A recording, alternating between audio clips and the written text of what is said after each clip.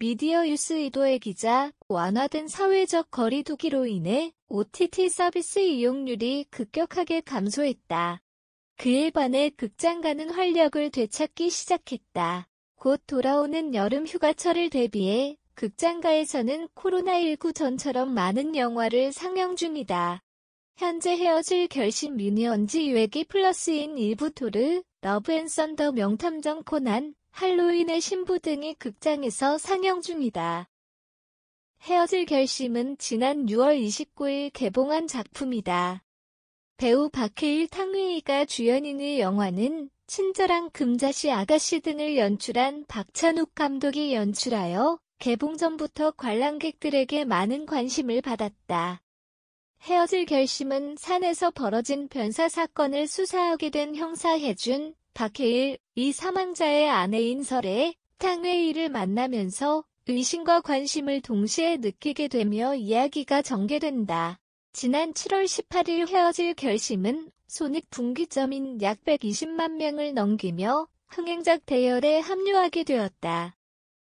또한 온라인 서점을 통해 각본집 예약 판매를 시작했으며 예스24에서는 7월 넷째 주 종합 베스트셀러 1위를 차지했다. 7월 20일에 개봉한 외계 플러스인 1부 미니언즈는 개봉 당일 나란히 박스 오피스 순위 1, 2위를 했다. 배우 류준열, 김우빈, 김태리, 소지섭, 염정아, 조우진, 김혜성, 이한이, 신정근 출연의 화려한 출연진 라인업으로 개봉 전부터 화제의 영화였다. 외기 플러스 2는 고려 말 소문 속의 신검을 차지하려는 도사들과 200여 년 인간의 몸속에 수감된 외계인 죄수를 쫓는 이들 사이에 시간의 문이 열리며 이야기가 펼쳐진다. 타짜 전우치 도둑들 암살 등을 연출한 최동훈 감독이 연출하였으며 다른 영화와는 다르게 1부로 나뉘어 제작되었으며 아직 2부는 개봉 일정이 정해지지 않았다.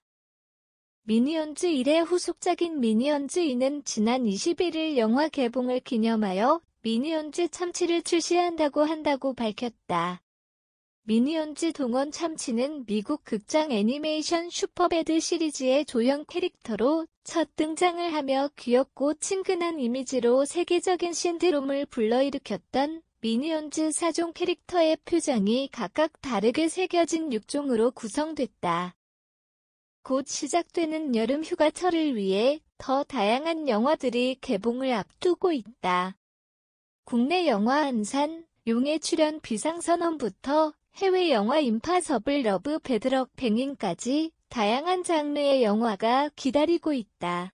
또한 미니언즈 명탐정 코난, 할로윈의 신부와 함께 어린이들의 여름을 책임질 뽀로로 극장판 드래곤 캐슬 대모험, 극장판 도라에몽, 진구의 우주 소전쟁 리틀 스타워즈 2021까지 애니메이션 영화 또한 개봉을 앞두고 있다. 7월 27일 개봉 예정인 한산, 용의 출연은 2014년에 개봉했던 영화 명량의 후속작으로 이순신의 한산도 대첩을 소재로 했다. 연출은 명량과 같은 김한민 감독이 맡았으나 배우는 전작과는 다르게 모두 바뀌었다. 배우 최민식이 맡았던 이순신 역은 배우 박해일 배우 조진웅의 와키자카 야스하루 역은 배우 변요한이 맡는 등 배우가 전면 교체되었다.